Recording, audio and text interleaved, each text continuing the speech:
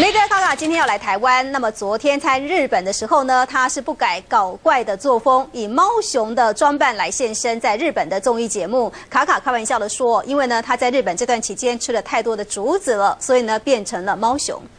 Please welcome to Lady Gaga。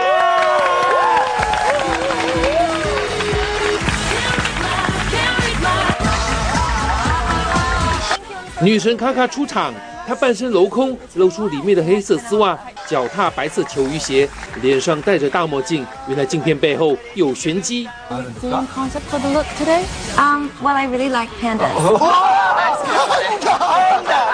女神卡卡一拿下墨镜露出猫熊装现场不断的惊呼。卡卡神色自若还在镜头前摆出 pose 让观众可以再靠近一点看看她的最新造型。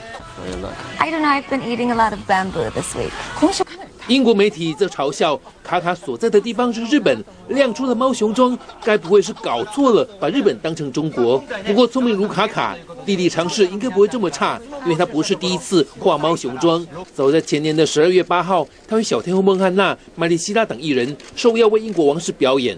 他就化了猫熊妆，配鲜红的宫廷礼服现身，连见过大风大浪的英国女王都忍不住笑场。而这次来到日本，卡卡扮成了猫熊，制作单位则搬出了国宝级的卡通人物，送给卡卡一只全球独一无二的 Lady Gaga 凯蒂猫。卡卡当场说要抱着它睡觉，看起来相当的爱不释手，也形成了猫熊抱着凯蒂猫的奇观。中央新闻黄瑞报道。